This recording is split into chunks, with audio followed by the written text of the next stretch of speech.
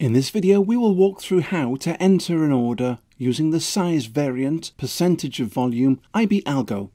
The size variant percentage of volume algo is available for US stocks and futures as well as some select non-US stocks and futures. This IB algo is useful for larger size orders when you wish to minimize market impact on the price of the security. The size variant percentage of volume algo allows you to participate in volume at a user-defined rate that varies over the time selected depending on the remaining size of the order. It is important to know the average daily volume, or ADV, to understand the participation rate you want to use for the order. While the actual daily rate on the day or days that the order is active may differ from the ADV rate due to current volumes or conditions, the ADV is a good reference point and reflects the average trading volume over the past 90 days. The average volume data column can easily be added to the Portfolio tab or a watch list by clicking on the gear in the upper right hand corner of the monitor panel and selecting Average Volume from the available columns area. We will enter a size variant percentage of volume order using the Mosaic Order Entry panel. First enter the symbol in the order panel and choose Buy or Sell and the trade volume. In the order type drop-down box, scroll down to IB Algo and choose Size Variant Percentage of Volume.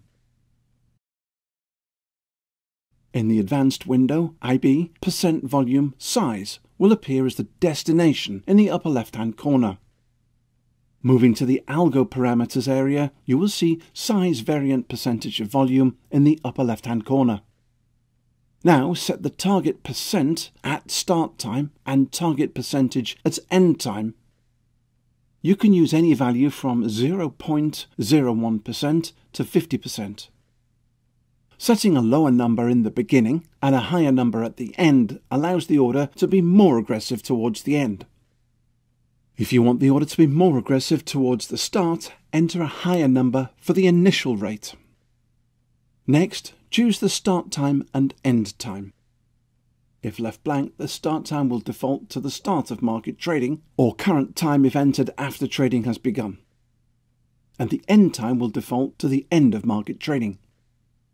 By checking the box next to the categories, you can attempt to never take liquidity, which discourages the algo from hitting the bid or lifting the offer, and or match block trading, which will allow the algo to trade against large block orders. Finally, you can make the algo conditional and only trade when the bid price for a buy order or the ask price for a sell order is met.